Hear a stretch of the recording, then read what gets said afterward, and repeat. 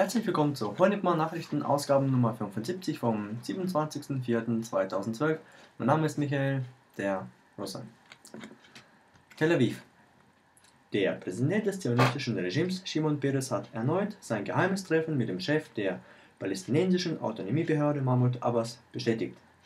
Wie Paltimes.net am Donnerstag berichtete, hob Peres hervor, dass Ministerpräsident Benjamin Netanyahu vollkommen über dieses Treffen, welches der Wiederaufnahme der Friedensverhandlungen mit den Palästinensern dienen solle, informiert war.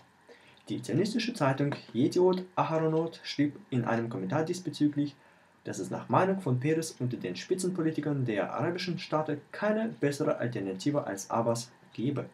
Er sei gegen den Krieg und unterstütze den Frieden. Auch in der Vergangenheit habe es niemanden gegeben wie Abbas. Washington. US-Senator Marco Rubio, der bei einem Wahlsieg der Republikaner wahrscheinlich Vizepräsident würde, hält einen unilateralen Militäreinsatz gegen die iranischen Atomanlagen für geboten. Schweinehund. Falls Sanktionen und Verhandlungen nicht die gewünschte Wirkung zeigen, bei einer Konferenz im Brookings, Brookings Institute in Washington sagte Rubio, dass die USA ihre Partner auf die Möglichkeit einer militärischen Lösung vorbereiten müssten, um eine iranische Atombombe zu verhindern.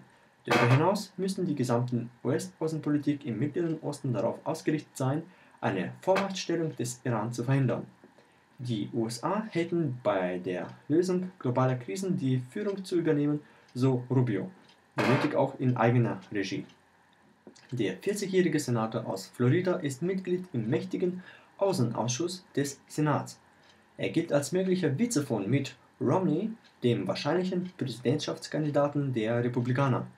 Die USA werden 9000 Armeeangehörige von den Militärstützpunkten auf der japanischen Insel Okinawa abziehen und sie auf den Insel Guam, den Hawaii-Inseln und in Australien stationieren, teilt am Freitag die Agentur Kyoto unter Hinweis auf eine Erklärung des japanisch-amerikanischen Konsultativkomitees für Sicherheit mit die Seiten haben sich geeinigt, schnellstmöglich einen Plan auszuarbeiten und die Fristen des Abzuges der amerikanischen Militärs und deren Familien aus Japan festzulegen, hieß es in der Erklärung.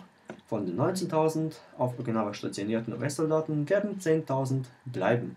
Die Gesamtzahl der US-Armeeangehörigen in Japan wird somit von 47 auf 48.000 zurückgehen. Die Ausgaben für die Verlegung der US-Militärs werden nach vorläufiger Schätzungen etwa 8,7 Milliarden Dollar betragen, etwa 3,1 Milliarden Dollar davon wird Japan bezahlen müssen. Die USA werden auch das Territorium, das fünf Stützpunkte im Süden von Okinawa mit einer Fläche von 1010 Hektar an Japan übergeben. Washington und Tokio haben 2006 ein Abkommen geschlossen, dem gemäß 8000 amerikanische Marineninfanteristen von Okinawa auf die Insel Guam im Stillen Ozean verlegt werden sollen. Die Bevölkerung von Okinawa tritt gegen die Präsenz der US-Militärstützpunkte auf der Insel auf. Die antiamerikanischen Stimmungen im Land verstärken sich drastisch, als bekannt wurde, dass US-Soldaten im Jahr 1997 eine japanische Schülerin entführt und vergewaltigt hatten. Moskau.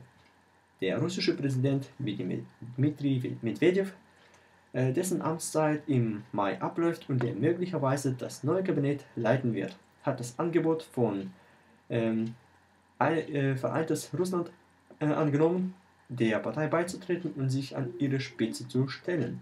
Ich möchte sagen, dass ich in die Reihen von Vereintes Russland eintrete, teilte Medvedev am Freitag bei einem Treffen mit dem Partei aktiv mit. Ich danke für das Angebot, die Partei zu leiten. Ich nehme es offiziell an sagte der Stadtchef und fügte an, dass in der Zukunft jeder Leiter der Partei auch ihr Mitglied sein soll. Das Raumschiff Soyuz TMA-22, an dessen Bord sich die russischen Kosmonauten Anton ähm, Shkaplerov und Anatoly Ivanishин sowie die NASA-Astronautin äh, sowie die, der NASA-Astronaut Daniel Burbank befinden, hat sich in der berechneten Zeit vom Modul wird der russischen Segment der Internationalen Raumstation ISS automatisch abgetrennt, teilt ein Vertreter der Flugzeitzentrums RIA Novosti mit. Äh, seinen Worten nach sollten die Triebwerke des Raumschiffes um 12.49 Uhr, äh, Uhr mitteleuropäischer Zeit für die Bremszug eingeschaltet werden und die bemannten Soyuz wird um 13.21 Uhr in der dichten Schichten der Atmosphäre eintreten. Die Soyuz-Kapsel soll um 13.45 Uhr 85 Kilometer nordöstlich der Stadt Arkalik, Kasachstan, landen. Der Gesprächspartner der Nachrichtenagentur teilte auch mit, dass die Raumfahrer von der ISS zwei Arten von Fracht mitführten: Güter, die zur Erde zurückgebracht werden, und Fracht, die im Weltraum entsorgt werden soll. Bei der Fracht, die zur Erde zurückgebracht wird, handelt es sich um verschiedene Ausrüstungen und Forschungsergebnisse. Das Raumschiff Soyuz DMA-22 sollte am 16. März zur Erde zurückkehren. Im Zusammenhang mit dem Aufschub des Starts der bemannten Soyuz DMA-04M mit der Besatzung der nächsten ISS-Expedition vom 30. März auf 15. Mai wurde das Datum der Rückkehr von Shkaplerov und Ivanishин und Burbank jedoch zunächst auf den 30. April und dann auf 27. April verschoben, da der 30. April ein arbeitsfreier Tag ist. Ziemlich verwirrend. Die Arbeit auf der ISS setzten der russische Kosmonaut Oleg Kononenko, der ESA-Astronaut Andrei Kaupers und der NASA-Astronaut Donald Pettit vor. Eine neue Expedition soll am 15. Mai mit einem mm, Raumschiff Soyuz DMA-04M vom Weltraumbahnhof Baikonur, Kasachstan, zur ISS starten. Der, der nächsten ISS-Stammcrew gehören die russischen Kosmonauten Gennady Padalka, Sergei Revin sowie der NASA-Astronaut Josef Akaba an. Die russischen Soyuz-Raumschiffe bleiben nach dem Abschluss Programm des Programms der Shuttleflüge in den USA das einzige Mittel für den Transport der Besatzungen zur ISS. Bis zum Jahr 2016 wird es keine Alternative zu den Soyuz-Raumschiffen geben, um die Astronauten der NASA und der Partneragenturen zur ISS zurück, äh, und zurück äh, zur ISS und zurück zur Erde zu bringen. Verzeihung. Eine entsprechende Ergänzung zum Vertrag hätte zuvor die russische Weltraumagentur Roskosmos und die US-Luft- und Raumfahrtbehörde NASA unterzeichnet. Dötensen. Er pöbelt, er motzt, er bringt die Teenies reihenweise zum Heulen. Dieter Bohlen ist nicht gerade zart beiseitet, außer es geht an das eigene Ego. Der Pop-Repro verklagt jetzt äh, nämlich die Bundesrepublik Deutschland wegen Verletzung der Menschenrechte. Grund für skurrile Gerichtsdrama die Werbeplakate der Zigarettenmarke Lucky Strike. Die machen sich nämlich ein bisschen über Bollens Buch hinter den Kulissen lustig, aus dem mehrere Passagen geschwärzt werden müssten, nachdem einige Promis klagten. Beleidigt ist Bohlen darüber natürlich nicht. Ich verstehe doch Spaß, erklärte Bohlen der Bild-Zeitung.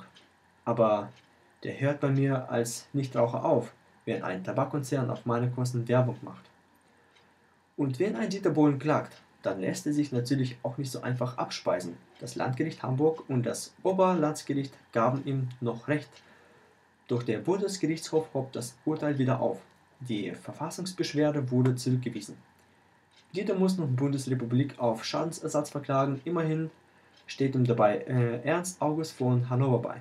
Der klagte ebenfalls gegen Lucky Strike. Eines deren Werbeplakate zeigte eine zerknautschte Zigarettenschachtel und textet: War es ernst? oder August. Damit spielt es auf äh, zwei körperliche Auseinandersetzungen des Prinzen an. Laut Bild argumentierten seine Anwälte, die Werbung würde ihn als brutalen Schläger an den sozialen Pranger stellen.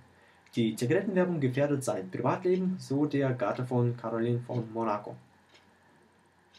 Weiß das äh, Wirtstier, äh, eigentlich nicht, dass es bei den Gerichten unter der Bundesrepublik in Deutschland nicht gegen die Verletzung der Menschenrechte klagen kann? Um gegen äh, die Verletzung gegen Menschenrechte zu klagen, muss man als deutscher, als deutscher Mensch sein und seine Klage von den Europäischen Gerichtshof für Menschenrechte in Straßburg vorbringen. Nach gewonnenem Prozess muss er dann äh, muss er das anerkennen, dass äh, er seinen Schadensersatz nicht durch die Bundesrepublik in Deutschland vollstrecken lassen kann. Also viel Spaß, Herr Bollen. Opel Bochum. Opel Bochum droht äh, das aus. Massenentlassungen bei Neckermann, Spanien und Irland kollabieren. Ringsherum bringt die Welt zusammen, doch Ökonomen und Politiker prophezeien Deutschland einen Aufschwung. Gegensätz, äh, gegensätzlicher können die Auffassungen über die Krise Europas kaum sein. Während Europa unter der Führung Deutschlands weiterhin sein Heil an einem radikalen Sparkurs sucht, werden politisch einflussreiche US-Wissenschaftler wie der Nobelpreisträger Paul Krugman genau diese Politik als ökonomischen und letztlich wohl auch politischen Selbstmord Europas. Die Investorenlegende George Soros fürchte als Folge der Sparpolitik gar einen Zusammenbruch wie den der früheren Sowjetunion. Er geht in die falsche Richtung, sagt Soros.